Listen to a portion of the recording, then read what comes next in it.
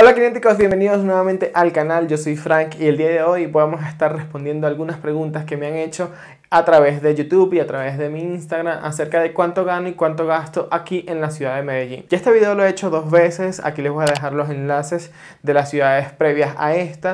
Y pues vamos a estar resolviendo alguna de esas dudas. Pero antes de comenzar con el video quiero agradecerte por estar aquí y por acompañarme en un video más. También quiero pedirte que si aún no lo has hecho te suscribas al canal dándole el botoncito rojo que ves allá abajo en pantalla. Eso me ayuda muchísimo a continuar haciendo videos para ustedes. Y también seguirme por mis redes sociales donde me vas a encontrar como arroba franquinético en todas las plataformas. Ahora sí, ¿cuánto gano y cuánto gasto aquí en Medellín?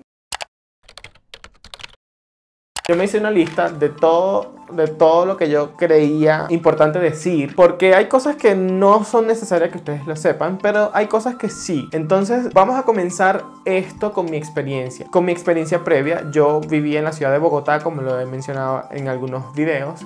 Yo me mudé aquí a Medellín. Cuando yo llegué a Medellín, recién había renunciado a ATP porque no me habían hecho como mi traslado acá a la ciudad de Medellín. Yo tenía algunos planes, algunos proyectos que iba a estar ejecutando acá y la agenda no dio. Entonces renuncié cuando llegué a Medellín, para no hacerles el cuento tan largo, llegué un 17 de febrero, del mes siguiente nos, nos encerraron en la cuarentena larga, cuando empezó toda la pandemia, y estuve trabajando de manera freelance para algunas personas. Me iba bien, algunas veces no me iba tan bien, pero ahí yo iba hasta que conseguí un trabajo en donde estoy actualmente, y en base a este trabajo es que vamos a estar haciendo esta comparación de cuánto gano y cuánto gasto para que tengan una idea a aquellas personas que quieran venir a vivir acá en Medellín, a ver si es rentable, si no es tan rentable, si vale la pena o no. Cuando yo eh, empecé a trabajar en esta empresa, muchas personas, creo que les voy a estar aclarando esta duda que me han dejado en los comentarios. Fran, ¿de qué, te, de qué estás trabajando hoy en día? Pues hoy en día yo soy social manager de una cuenta, de una empresa que comercializa productos educativos. Entonces yo manejo la cuenta institucional de redes sociales de una universidad. Vamos a comenzar por cuánto gano. Yo realmente no gano mucho, pero está bien Yo gano aproximadamente un poquito más de dos sueldos mínimos, sin incluir comisiones que obtenemos por, por pues metas de equipo, metas de grupo y todo. Y cómo yo invierto lo que gano. Pues ahí está como que la magia y el truco y lo que yo les quiero enseñar. Si no fuera porque yo comparto gastos, pues se me hiciera muy difícil ciertas cosas. Como por ejemplo arrendar un apartamento para mí solo. Una persona que tiene un sueldo promedio como de uno o dos sueldos mínimos no le alcanza aquí en Medellín para arrendar un apartamento para él solo, a menos que pues vivas en una, una parte súper alejada, arrendes un aparte estudio que son un poco más pequeño o vivas en un sector muy popular en donde los arriendos no son tan costosos. Pero de ahí en adelante, si tú quieres vivir en una zona que a ti te guste, es más costoso. Entonces yo comparto gastos, por eso es que yo aquí nada más les voy a estar hablando de montos parciales y muchas veces sin montos porque cada realidad, cada persona tiene una realidad diferente y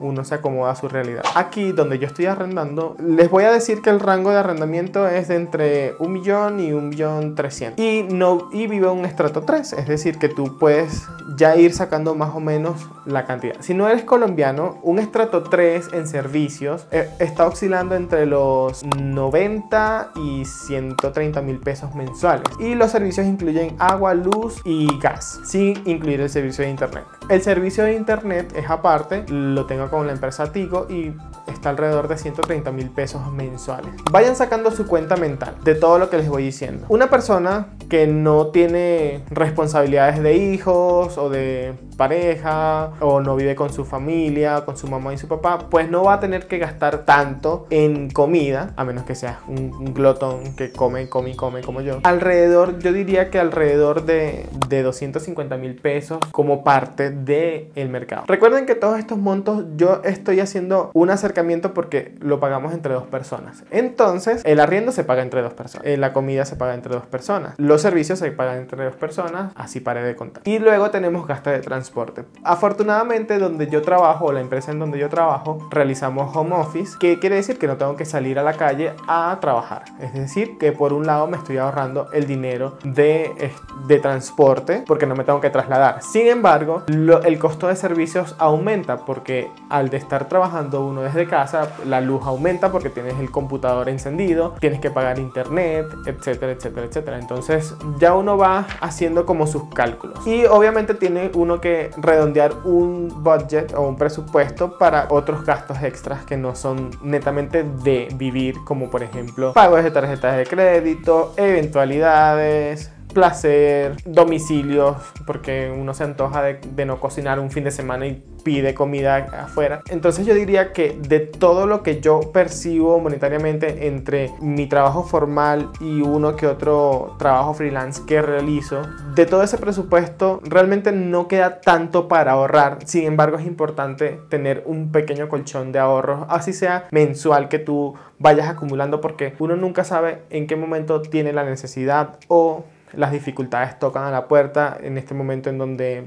estamos en el tercer pico de la pandemia, es cuando más tenemos que guardar dinero y no gastar en frivolidades como a veces hago yo. Pero yo también pienso a veces que nosotros, o sea, si ya no podemos salir de paseo, si ya no podemos salir a centros comerciales, al cine o, o, rumba o a una discoteca, ¿cómo podemos nosotros satisfacer esas carencias de otra manera? Pues dándote ciertos gustos que no necesitas salir de casa. Entonces, para que tengan una idea, una persona que quiera vivir en Medellín, por ejemplo en Sabaneta, en Vigado o en La Estrella o en El Poblado, tiene que compartir obligatoriamente apartamento. Si compartes apartamento con una persona, pues los gastos irán a la mitad. Pero si compartes el apartamento con dos personas más que tú, pues ya sería un gasto menos. Vas a tener la posibilidad de tener un margen un poquito más grande de ahorro y eso estaría súper bien. Eh, la conclusión aquí es, si eres una persona sola, si eres una persona que realmente pues no tienes ningún tipo de obligación con terceros o con familia o qué sé yo, no tienes hijos, todo esto, te vendría bien vivir o en una habitación en donde pagas alrededor de 400 o 500 mil pesos mensuales incluyendo servicios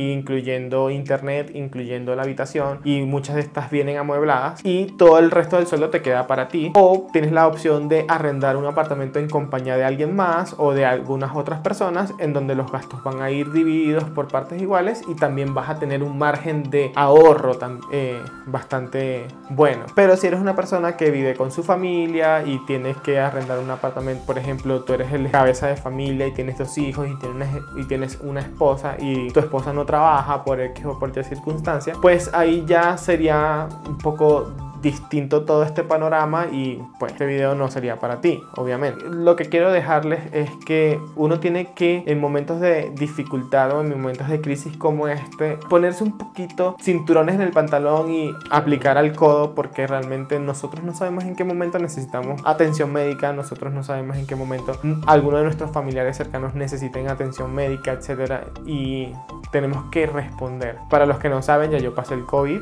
yo tuve un, un episodio muy leve de COVID, casi que asintomático, pero hay personas que no tienen la misma suerte y cada vez se está viendo mucho más afectados a través de, de mucho más afectados por el virus. Entonces la invitación es que ahorremos y la invitación es que seamos organizados con nuestras finanzas. No es que seamos fastidiosos, que tengamos que anotar todo lo que gastamos y llevar un control exhausto porque tenemos que ahorrar o qué sé yo, pero sí dejarnos de meter en deudas a largo plazo, si tratar de comprar más que todo de contado o lo que se contiene eh, o lo que se tiene de manera de que no te descuadre la, la, siguiente quincena o no te descuadre el siguiente sueldo y yo creo que de esa manera podemos ir paliando un poquito la situación económica. Bueno, es mi percepción muy personal. Si te gustó este video, dale manito arriba, compártelo con alguna persona que se quiera venir a vivir acá en Medellín. Déjame en los comentarios qué te pareció. Me gusta leerlos, me gusta leer su feedback. Y también sígueme por mis redes sociales en donde me vas a encontrar como arroba en todas las plataformas. También te, te pido que si llegaste a este punto del video, porque mucha gente se va a la mitad del video, te suscribas al canal dándole el botoncito rojo que ves allá abajo en pantalla. Aquí vamos a tratar en este espacio de los martes productivos de traerles algunos tips de vida, tips laborales que nos pueden funcionar para, para muchas cosas. Sin más nada que decir, nos vemos en el próximo video. Bye.